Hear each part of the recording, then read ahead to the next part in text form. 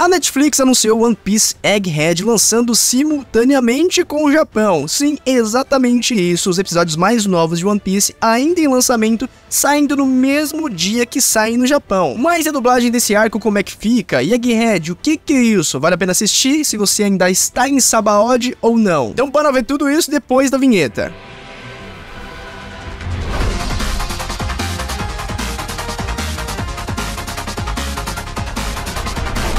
Fala galera do Da Up, sejam bem-vindos a mais um vídeo aqui do canal, eu sou Pedrosa, o seu apresentador favorito. Se você acompanha One Piece pela Netflix, cara, deixa aí nos comentários como é que tá sendo a sua experiência até agora, se você tá curtindo a dublagem, se você não tá curtindo, o que, que você tá achando, conta pra mim nos detalhes tudo isso que eu tô bem curioso pra saber como é que estamos aí. E vamos lá começar esse vídeo a todo vapor falando aí do mais novo anúncio da Netflix, que é do lançamento de Egghead simultaneamente com o Japão. E já tem uns tempos, né, que vocês sabem, que One Piece é o anime querido, mais queridinho da Netflix e não se fala de outra coisa. Já tem uns anos aí que eu trago no canal, desde 2020, sempre que sai alguma coisa, uma novidade, um arco dublado de One Piece. Deixa eu ligar aqui o ventilador que tá difícil, velho. E até mesmo recentemente, em dezembro agora de 2023, finalzinho, cara, no último dia de dezembro, saiu o arco de Sabaody, que é o primeiro arco da, da Guerra de Marineford, cara, que é uma saga maravilhosa, uma das minhas sagas favoritas e saiu dublado no catálogo da Netflix. E já tem previsão para sair o próximo arco, que é o Amazon Lime, já no mês que vem, aí no comecinho de fevereiro. Só que a notícia aqui é diferente, porque do nada a Netflix chegou e mandou essa bomba, que não é uma bomba ruim, e sim uma bomba muito boa, porque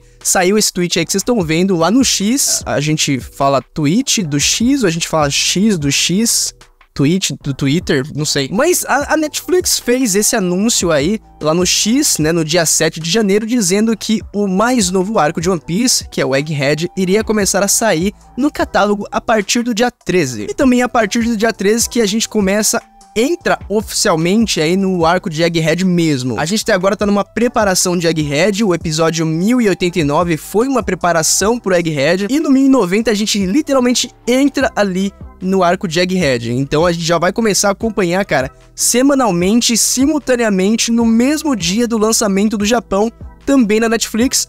Algo que para mim é uma coisa assim completamente de doido, porque isso só acontecia até hoje, né, com One Piece somente na Crunchyroll, que é a plataforma específica de animes tal, só tem animes lá e é isso. Mas que, né, nem todo mundo tem, nem todo mundo tem Crunchyroll e agora a Netflix tendo fechado aí esse contatinho com a Toei para facilitar a vida das pessoas, né, que não tem a Crunchyroll, mas tem a Netflix e quer acompanhar One Piece semanalmente, cara, vai rolar. E disse isso não é perfeito. Que vamos combinar, é muito mais fácil a família aí do brasileiro ter Netflix do que ter Crunchyroll, que é específico para anime, sendo que na Netflix, além de ter alguns animes bem legais, tem também lá, né, várias séries, vários filmes, é muito bom. Então isso aqui é puramente o creme da perfeição. O único problemão aqui, que foi um problema temporário, é que a conta que fez esse anúncio aí, se você observar bem aqui em cima, ó, é a conta gringa da Netflix, a conta internacional. Então foi aí que ficou aquela dúvida. Será que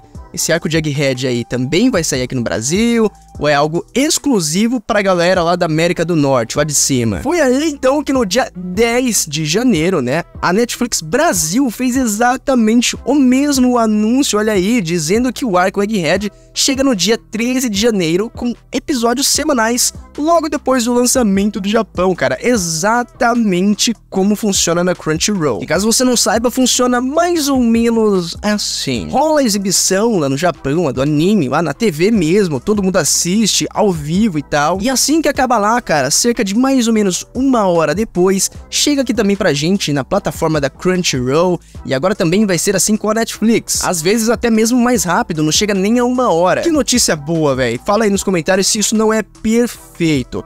Pelo que eu me lembro até, esse negócio aí de transmissão logo depois do Japão acontece com alguns outros animes da Netflix, não são muitos, mas já aconteceu, por exemplo, com aquele Zon 100, né, que é aquele anime de zumbis, que é muito legal. Acabou de terminar aí o último episódio, tava saindo também semanalmente na Netflix, lá junto com o lançamento do Japão. E agora mesmo, nessa temporada de animes de janeiro aqui de 2024, tá saindo também com aquele anime Dungeon Meshi, né, que é aquele anime de Dungeons RPG, com cozinha, cara, tipo Masterchef RPG, muito legal. Só que esse mesmo esquema de transmissão junto com o Japão, quase junto, né? rolar com One Piece, que é um anime lendário, um anime que tem mais de 20 anos, cara, duas décadas, é algo realmente impressionante. Eu não sei vocês, eu não sei vocês, mas eu fico impressionado Isso para mim é uma importância gigantesca. E como eu disse, Egghead, o arco mais novo, o arco mais atual de One Piece que acontece, que tá saindo também no mangá nesse exato momento. E lá no mangá tá rolando umas lutas muito insanas, muita coisa acontecendo e agora vai começar aqui também no anime. O resumo do resumo de Egghead só para você situar em que parte a gente tá da história. Logo depois de sair ali de Wano, né, de derrotar o Kaido e a Big Mom, os Chapéus de Palha chegam lá nessa ilha futurista chamada Egghead, que tem relação com aquele misterioso cientista Vegapunk, que já foi citado várias vezes aí durante One Piece, mas até então nunca apareceu. E agora, esse é o começo do fim de One Piece. Sim, One Piece, ele não é infinito, ele vai acabar, né? E a gente tá chegando aí na saga do final de One Piece, onde todos os segredos vão começar a ser revelados, porque tem muito segredo, tem muita coisa que ainda falta para ser revelada. E eu posso até fazer um vídeo sobre isso, cara, todos os segredos que ainda precisam ser mostrados até o final de One Piece. E até mesmo coisa para ser revelada, né, do Gear 5 do Luffy, o poder do Sol, cara, o poder do Nika, tem muita coisa ainda que vai ser mostrada e que já tá começando ali a, a começar, né? Começando a começar a ser mostrado. O próprio Oda chegou a dizer algumas semanas atrás mesmo que provavelmente, cara, depois aí de saírem de Egghead, os Chapéus de Palha eles devem seguir diretamente pra Laugh Tale, que é, é o final, cara, é o final. Eles estão indo buscar One Piece agora e vai ter muita luta muito insana Lembrando até mesmo né, que o próprio bando do Shanks também tá indo pra Tale atrás do One Piece, é o que eles disseram lá no fim de um ano. Então daqui pra frente, cara, ó, tô até arrepiado, sem zoeira. Daqui pra frente, cara, vai ser muita porradaria e tudo em One Piece vai ficar muito mais insano. Bom, e agora depois desse anúncio, óbvio que teve muita comemoração por parte de toda a comunidade de One Piece, porque é um anúncio, cara, unilateral, cara, é somente bom, não tem nenhum, nenhuma parte ruim desse anúncio. E óbvio que isso não é de se duvidar, porque a Netflix, galera, trouxe One Piece assim para um patamar novo, trouxe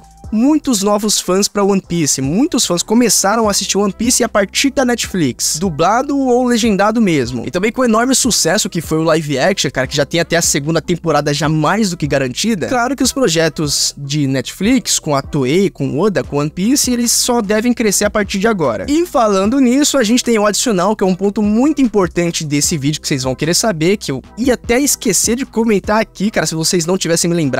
E a dublagem de Egghead também vai sair, como é que vai funcionar, cara? Como é que será que vai funcionar os episódios semanais? Vai ser só legendado ou vai ser dublado também? Antes da gente chegar neste tópico, eu tenho uma coisinha para te convidar, cara. Só te convidar a se inscrever aqui no canal e clicar aqui ó no sininho de notificações para você não perder as notícias mais quentes aqui no canal. Também não esquece de deixar o seu socão aqui embaixo nesse like que é muito importante. Se você estiver curtindo esse vídeo, deixa o like aqui que ajuda muito. É o termômetro para eu saber se vocês estão curtindo ou não o estilo de vídeo que eu faço. E uma última coisa, galera, tem um botãozão aqui embaixo que tá escrito seja membro. Clicando nesse botão, vocês vão se aventurar em uma nova parte do YouTube aqui com Down Up, onde vocês se tornam parte da comunidade, um valor mínimo, é um valor muito baixo mesmo. E com isso você ajuda muito aqui no canal, você começa a ter acesso a conteúdos exclusivos que ninguém mais tem no YouTube inteiro. E você sempre vai se destacar, cara, nos comentários com o ícone de membro diferentão, cara, diferente de todo mundo que comenta. Vai ter emojis exclusivos pra usar e, cara, é muita coisa boa mesmo. Então, me ajuda aí, vira membro do canal e seja bem-vindo. Dito tudo isso, vamos voltar à questão da dublagem aí de Egghead, né? Que, que vocês acham? Vocês acham que a dublagem de Egghead vai acontecer ou não? Deixa nos comentários que eu quero saber. Eu mesmo tenho algumas teorias aqui que não são tão animadoras assim, mas vamos lá, eu vou te explicar. Até agora só foram confirmadas, claro, as legendas em português, né, dos novos episódios aí de One Piece, Egghead. Porém, a dublagem nacional, ela é muito incerta, ninguém sabe se vai acontecer ou não. E, lógico, eu tenho alguns motivos aqui para isso, né, para não acontecer na verdade. O primeiro motivo é que o processo de dublagem aí de One Piece ainda tá bastante atrasado em relação aos episódios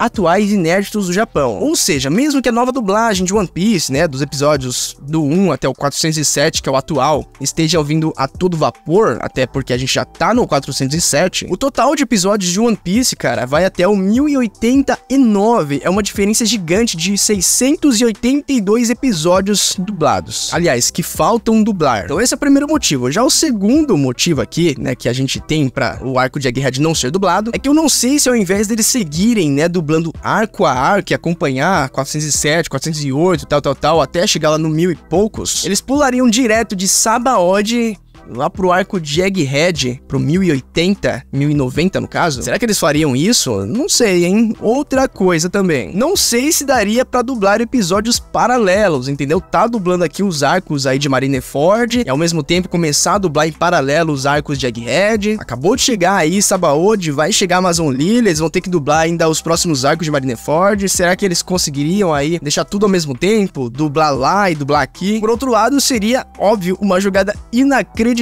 né? Ter episódios semanais dublados. E por um outro lado ainda, né? Imagina as pessoas pulando diretamente do Sabaody pro arco de Egghead, perdendo tudo que rola aqui nessa metadinha, cara, seria uma loucura sem fim. Imagina perder a guerra de Marineford, imagina perder Whole Cake, as Ilhas do, dos Homens Peixe, imagina perder tanta coisa, perder o ano e pular direto pra Egghead, seria uma loucura que eu não recomendo, mas que com certeza se rolar essa dublagem de Egghead, isso vai acontecer sim, vai ter muita gente pulando do 407 pro 1090, do nada. Só que tem uma coisa que para garantir que tudo isso aconteça, no mesmo dia do lançamento não tem como sair dublado. Isso porque até mesmo lá no Japão funciona assim, os episódios saem semanais, passam lá na TV e só vêm pro Brasil depois de serem exibidos por lá. E é só aí que poderia ser iniciado o processo de dublagem desses episódios por aqui no, no campo Tupiniquim aqui no Brasil. E um processo bem legal que a Crunchyroll fazia e que talvez a Netflix poderia adotar, né, para mitigar um pouco isso aí, é a dublagem expressa, que funciona mais ou menos assim. O anime chegava lá no Japão, passava na TV aberta, a galera assistia e tal, e aí entrava legendado na plataforma da Crunchyroll mais ou menos uma horinha depois, né? Como eu falei que funcionava. E aí que começava o processo de dublagem expressa, que era muito legal. Acho que a gente não tem mais isso hoje na Crunchyroll, eles pararam de fazer. Mas a dublagem desse episódio rolava em uma semana, cara. Então, dentro de uma semana, esse episódio inteiro era dublado, e na próxima semana, no dia do lançamento do próximo episódio legendado, eles soltavam gravavam esse episódio dublado. Então no mesmo dia saía o episódio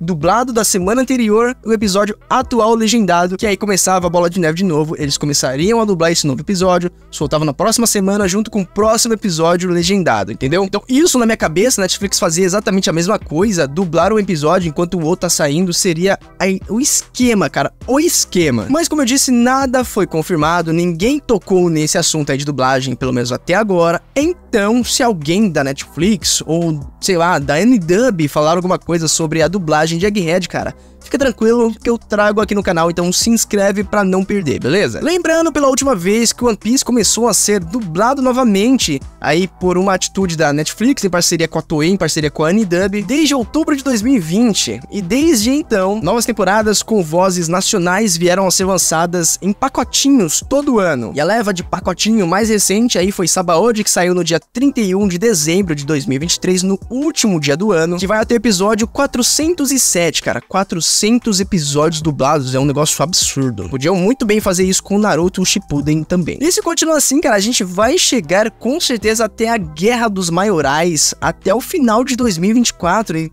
cara, sem palavras. E agora com Egghead saindo no catálogo da Netflix semanalmente, cara, um episódio por semana, tem muito mais coisa de One Piece pra ver. Tanto pro fã novo, quanto também pro fã mais velho que já acompanha há anos essa parada. Então é só aproveitar, One Piece tá aí, veio pra ficar. E aí, galera, curtiu essa nova notícia aí, desse novo anúncio da Netflix? Deixa nos comentários que eu quero saber a sua reação. E você que vai assistir aí o arco de Egghead, você vai assistir por onde? Netflix? Crunchyroll? Ou aqueles outros sites de anime lá, vocês estão ligados, né? Me diz nos comentários por onde é que você vai assistir Egghead. E se for pela Netflix, lógico, não esquece de assistir umas 10 vezes para deixar One Piece no top 10 toda semana. Não esquece de conferir o sistema de membros aqui do canal, que ajuda demais aqui, ajuda de verdade, e você também recebe vários prêmios de volta. Você contribui e ganha coisas que você não ganha em nenhum outro canal do YouTube, tá bom? Só conferir aqui as recompensas no botão de Seja Membro aqui embaixo, é muito baratinho, e você recebe muito mais em troca. Então vira membro, você vai curtir e de troca vai me ajudar muito mesmo. Então, confere aqui embaixo e vira membro, vamos dar um up comigo. Não esqueça de deixar aquele seu socão nesse like se você curtiu esse vídeo, se você curtiu o tema, curtiu essa notícia, deixa o like aqui que ajuda demais. Dá o gomo gomo no like aí. Me segue aqui no meu Instagram para conteúdos exclusivos que eu só posto por lá, algumas postagens bem legais.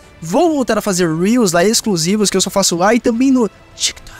Então, Vamos lá, segue lá no Instagram também, beleza? Você pode me chamar no direct também, me fazer perguntas, me passar notícias que você quer que eu transforme em vídeos aqui no canal, cara. Eu sempre respondo muito rápido por lá. Todo mundo que me chama, tá ligado que eu respondo rápido, então é só chamar lá também. E isso, galera, se você gostou agora por fim desse vídeo, não esquece de fazer o seguinte, clica aqui embaixo nessa fatinha para poder se inscrever no canal, assim você não perde os próximos vídeos fantásticos que a gente tem por aqui. Para dúvidas, críticas, sugestões, escreve nos comentários que eu sempre anoto tudo e não esquece de ver os vídeos que eu tô deixando aqui na sua direita somente para você, exclusivão. E vamos ficando por aqui, obrigado mais uma vez por ficar comigo até aqui, até agora, até o próximo vídeo e tchau!